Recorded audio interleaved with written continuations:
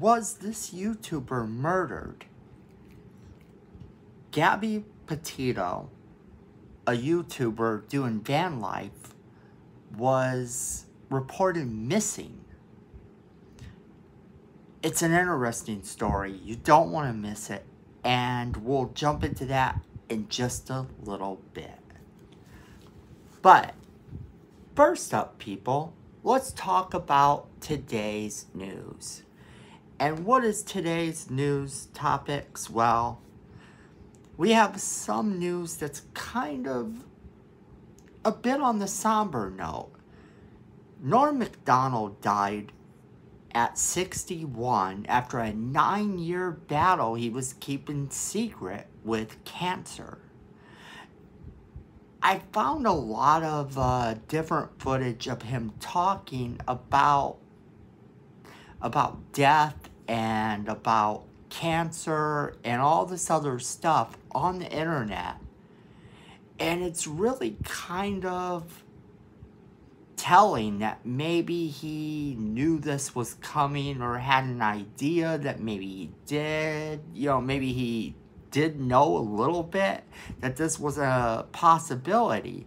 So ultimately, he was trying to keep this battle a secret to kind of spare the audience, but at the same time, he's been making fun of that fact potentially for the whole time.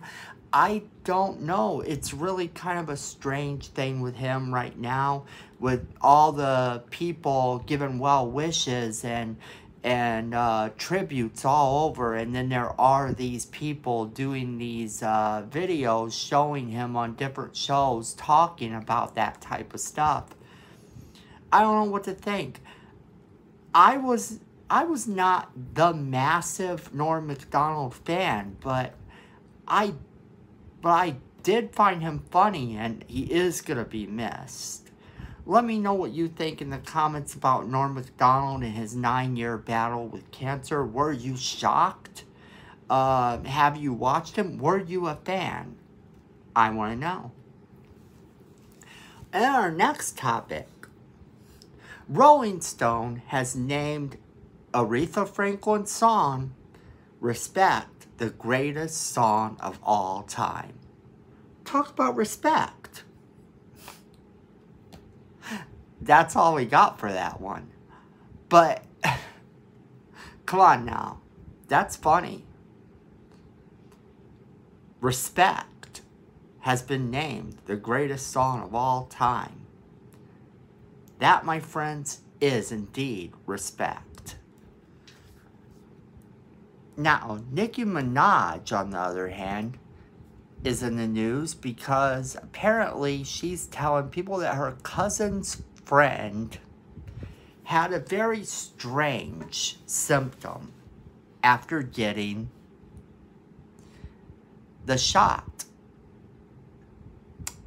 Um, the vaccination shot. And that's, it's kind of weird because, because now it's all over the media.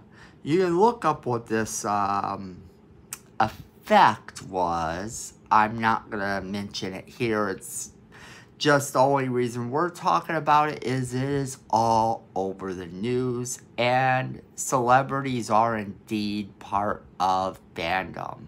Now, the health department at, in the area that the cousin's friend lives in actually went on record as saying that this was false information, that no one in that area no one had reported any such effect, which is which is disturbing um, because if she knows about this, that means he told her, and then what, what of this, I mean.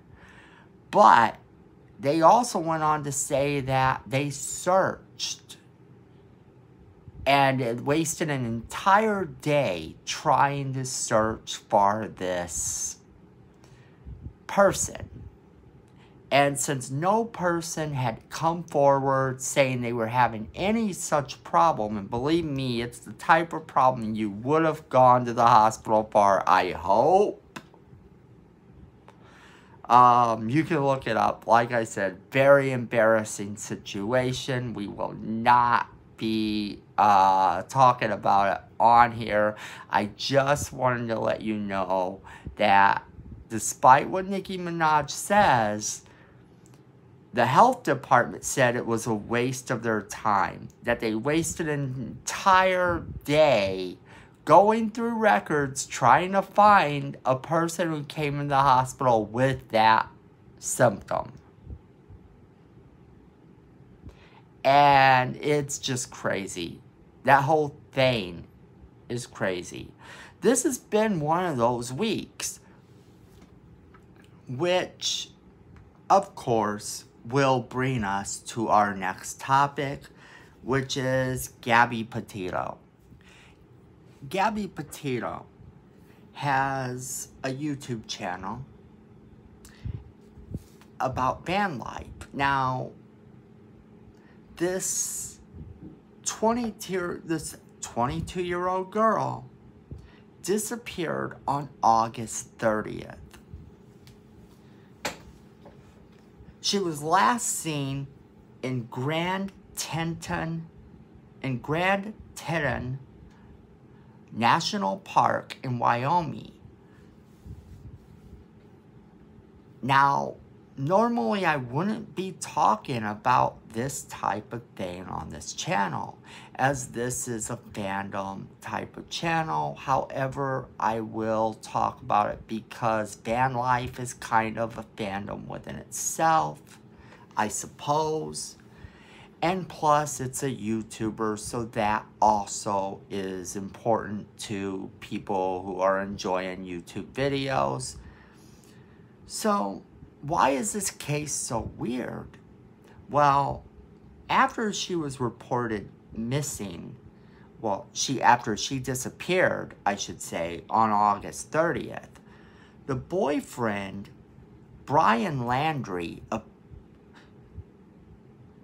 age 23, drove home back to back to their place, their primary residence in Florida on September 1st without her. Now, this is strange because he also did this in her van. The van belonged to her, apparently, not to them. From everything I understand, the van was hers. So the so the past few days have been crazy because now 11 days later or so the family reported her missing the boyfriend brian landry has said absolutely nothing about the situation refusing to tell people where the last time he saw her was now that's crazy because now the family's wondering. They're trying to find out where she is, what happened to her, and all they want is their daughter back. It gets weirder because a few days before her disappearance, apparently there was a disturbance reported and 911 was called. They came and there was body footage of the whole situation. And you can look it up online. I won't post it here for reasons. It's body cam footage and I don't feel comfortable doing so, especially when all the news sites on YouTube have it for you to watch. But the body cam footage is from Moab, Utah. And it shows the couple trying to trying to talk to cops. Apparently apparently she had a manic episode. And they had some difficulties. Um, police were called and there was a whole body footage thing. The police asked her if he hit her. Uh, she says no, he did not. However, he put his hands on her face after she had hit him. Uh, it sounds like hitting to me, but we don't know the situation. We don't know what happened. So we really can't say. Now, no charges have been brought against the boyfriend yet. And no real clues have been found in the case that have been reported by the police. The police, in fact, actually talked about it, and the one police officer said that while the boyfriend is a suspect in this disappearance, that basically he's in his rights to not say a word about it. They can't do anything about him not talking about it. I don't know. To me, if he drove home in her van, that would be the number one thing as her parents that I would be doing to get him to talk. I would be I would be filing um, a theft on that van to get him to have to go in I mean, sure, they know where the van is because he literally drove it home, but he drove it home without her. I think if it was me, I would try to find a way to get him to have to answer some questions, but again, the situation is really, really strange. But wait, it gets stranger. So why does it get stranger? Well, it turns out that some newlyweds, Crystal Turner, 38 years old, and 24-year-old Kaylin Schultz were found shot to death at a campground southeast of Moab on August 18th five days after they were seen leaving a downtown bar. Now, why is this important? Well, well, that is where the police were called for the 911 body cam footage that is all over online somewhere in that general area is where Gabby Petito and her boyfriend, Brian Landry, had a fight.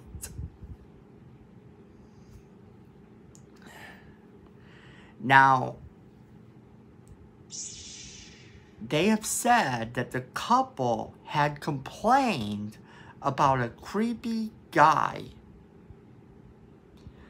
who was making them feel uncomfortable in their campsite a few days before the homicide. So they were at the same campsite as Brian Landry, Brian Laundrie, and and Gabby. They were at the same campsite complaining about a creepy guy who was making them feel uncomfortable. Now, they're saying that in that investigators think an outside party shot the women and then fled the area. However, they have not ruled out the possibility that somehow these two cases are indeed linked. It is strange that they were in the same area at the same time. And now these two women are dead and Gabby is missing. So in regards to this body footage camera, yo, this body footage that you can find online. It pretty much says that the Mel, which would be Brian, tried to create distance between between Gabby and himself by telling her to take a walk to calm down. She didn't want to be separated from the van and began slapping him. He tried to grab her face and push her back. And then he proceeded to lock her out except for that his side of the door was his side was open she forced her way in to the vehicle and then um, kind of made them wreck. So they had a little bit of a wreck and 911 was one was apparently called. This this uh, seem to be kind of a mental or emotional health breakdown more so than a domestic assault is what one of the police officers said. Then, you know, they're looking into the possibility now, however, that these two cases might be closer linked than we think. So Thursday night, a statement was made by Brian Laundrie's lawyer where he said in a statement that any connection to the two cases will be determined at a later date. Whoa. Whoa, whoa, whoa, whoa, whoa. Wait just a minute there, friends and family. Brian Landry's lawyer says that any connection between the two cases will be determined at a later date? Even that sounds a little bit off to me. and law enforcement actually has to uh, follow whatever protocols they need to follow. They can't just go in and arrest the guy, and he's perfectly within his rights not to talk about it. But the whole thing to me seems really crazy. It seems really weird. If you would like to hear me talk more about it, let me know. Because the last been the last official thing that we know was that they left a hotel in Salt Lake City, Utah, about 230 miles away from Moab on August 24th and we're heading to the Grand Teton National Park, then eventually Yellowstone. So the last verbal conversation, that last conversation that um, that Gabby's mom had with her was on August 25th, where they were apparently in Grand Teton. Landry or Laundrie then um, returned home without her to to Northport where the couple's trip began. He returned on September 1st in her van without her. Now, here's the thing. The mom said that she believes the text was not from her daughter. Now that we know the band was in Florida on the 1st, she states, there is no way that that text was from her daughter.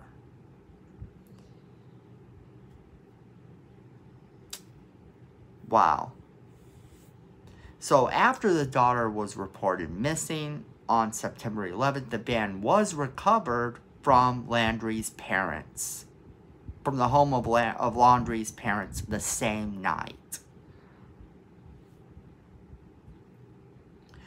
Laundrie has retained a lawyer but hasn't spoke on the case at all, hasn't given any information.